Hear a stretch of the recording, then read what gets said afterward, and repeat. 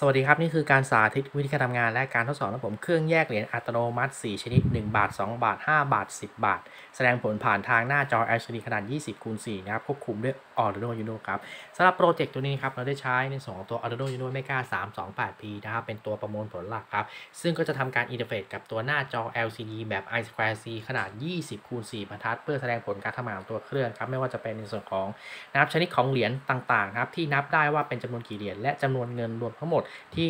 คัดแยกและนับได้นั้นทั้งหมดกี่เหรียญนั่นเองนะครับ ซึ่งในส่วนนี้นะครับเราก็จะใช้ใน 2 ตัวเซนเซอร์ infrared sensor ทำการติดตั้งในแต่ละช่องนั่นเองนะครับการทำงานก็คือนะครับเราสามารถที่ทำการปรับในส่วนของค่าความเร็วของตัวนะครับจานตักเหรียญได้ซึ่งอยู่ใน hopper ตรงส่วนนี้นะครับทางผู้ใช้งานสามารถที่ทำการเทเหรียญหรือใส่เหรียญตามความเหมาะสมเข้าไปใน hopper ครับในขณะที่จานหมุนนั้นก็จะมีช่องเอาไว้สำหรับให้ตัวเหรียญนั้นเข้าไปอยู่นะครับในขณะที่จานหมุนนะครับมันก็จะพาเหรียญ ลงไปด้วยนะครับตามทางลาดตรงนี้นะครับ เมื่อเหรียญเจอช่องในแต่ละช่องที่มีขนาดที่เท่ากับตัวขนาดของเหรียญในแต่ละชนิดนั้นครับเหรียญก็จะลอดผ่านรูในแต่ละรูที่เราได้ทำการเจาะไว้นะครับ ก็จะแบ่งออกเป็นตามชนิดต่างๆ ก็คือ 1 บาท 2 บาท 5 บาท 10 บาท เรียงตามลำดับความนะครับเส้นผ่านศูนย์กลาง นะครับของตัวเหรียญในแต่ละชนิดนั่นเองครับเมื่อเหรียญครับไหลผ่านตรงช่องแล้วนะครับเหรียญก็จะไหลไปยังด้านหลังของตัวเครื่องครับก็จะผ่านในส่วนของตัวเซ็นเซอร์ตรวจจับเหรียญซึ่งในส่วนของตัวเซ็นเซอร์ตรวจจับเหรียญตรงนี้นะครับเราก็ได้ใช้ในส่วนตัวเซ็นเซอร์ TCRT 5000 ซึ่งเป็น infrared sensor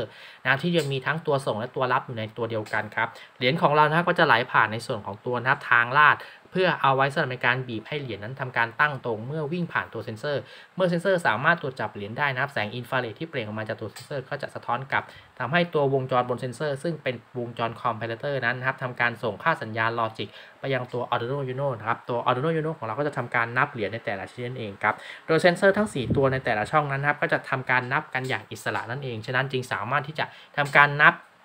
นับชนิดของเหรียญในแต่ละชนิดที่ไหลเข้ามาพร้อมกันได้นั่นเองครับในขณะที่นับนะครับก็จะทำการส่งข้อมูลไปยังตัวนะครับ LCD ขนาด 20คูณ4บรรทัด เพื่อแสดงผลการทำงานว่าเหรียญในแต่ละชนิดนั้นนะครับมีทั้งหมดกี่เหรียญได้ตามด้วยนะครับจำนวนเงินทั้งหมดที่ทำการนับได้นั่นเองนะครับในส่วนของตัว hopper ตรงนี้นะครับรวมถึงตัวระบบจานตักเหรียญตรงส่วนนี้นะครับเราก็ใช้ในส่วนตัว DC gear motor ครับซึ่งเป็น DC gear motor ขนาด 12 โวลต์ซึ่งมีในส่วนตัวเกียร์ทดนะครับหรือว่าเฟืองทดที่อยู่ภายในตัวมอเตอร์ครับเพื่อทำให้ได้ในการเพิ่ม torque หรือว่าแรงบิดของตัวมอเตอร์ให้สามารถที่จะมีกำลังมากพอนะฮะในการนะครับตักเหรียญให้ขึ้นไปยังตัว นะครับ ตัวตักเหรียญได้แล้ววิ่งผ่านทางลาดเพื่อให้เหรียญนั้นไหลลงตามช่องนั่นเองครับ เราสามารถที่จะทำการนะครับปรับค่าความแรงหรือว่าความเร็วในการหมุนของตัวมอเตอร์ได้ตามความเหมาะสม ถ้าเกิดว่าตัวมอเตอร์ยิ่งเร็วมากเท่าไหร่ค่าความแม่นยำมันก็จะลดลง ฉะนั้นนะครับทางผู้ใช้งานต้องทำการปรับในส่วนของค่าความเร็วตัวส่วนนี้ให้เหมาะสมกับจำนวนของเหรียญที่ใส่ใน hopper และค่าความแม่นยำที่เราต้องการนั่นเองนะครับ ซึ่งอาจจะมีข้อผิดพลาดบ้างนะครับ เพราะว่าในส่วนตัวมอเตอร์ตรงนี้ก็จะทำการตักเหรียญ ด้วยความเร็วที่ต่างกันตามในแต่ละชนิดของเหรียญเพราะว่าถ้าเกิดอย่างเช่นเหรียญ10เนี่ยมันจะมีน้ำหนักค่อนข้างมากก็จะทำให้วิ่งเร็วกว่าเหรียญทั่วไป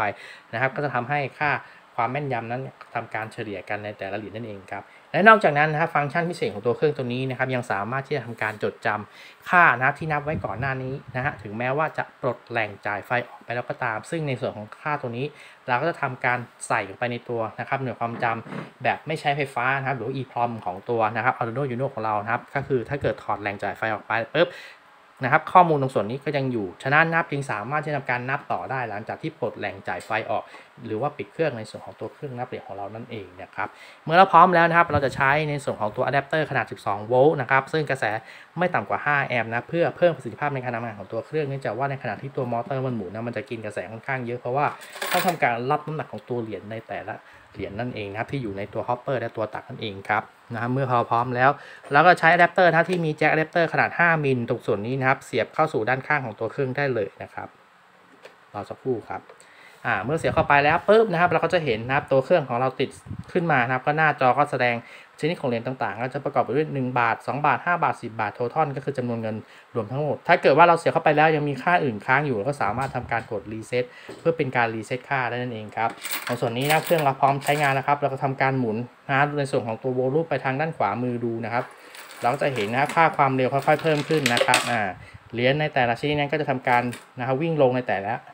นะครับช่องนั่นเองครับ เราอาจจะต้องใช้นะครับมือนะครับ เกลี่ยเหรียญดูบ้างนะครับเพราะบางทีมันอาจจะติดกันนะครับสักครู่ครับประมาณนี้นะครับนะครับ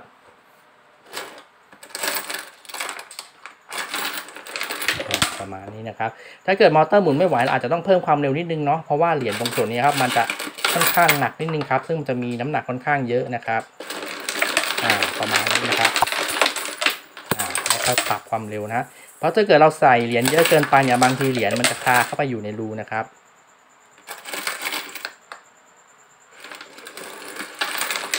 อ่าประมาณนี้ครับ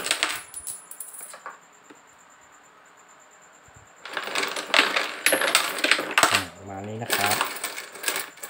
นี่ผมน่าจะใส่เหรียญเยอะเกินไปนะครับ อาจจะต้องใส่น้อยกว่านี้ครับอ่นะครับประมาณนี้ครับอ่าประมาณนี้นะครับ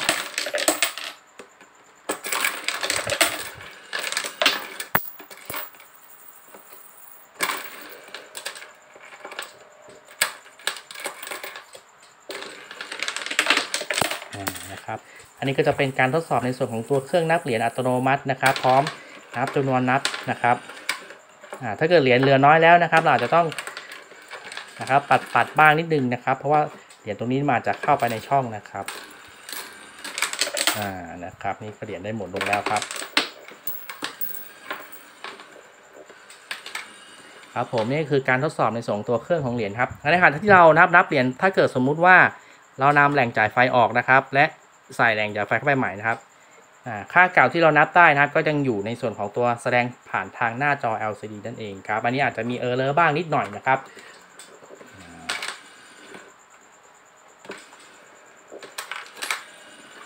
ครับผมขอจบการนำเสนอนะเครื่องนับเหรียญอัตโนมัติ 4 ชนิด 1 บาท 2 บาท 5 บาท 10 บาท แต่เพียงเท่านี้ครับผมสำหรับวันนี้สวัสดีครับ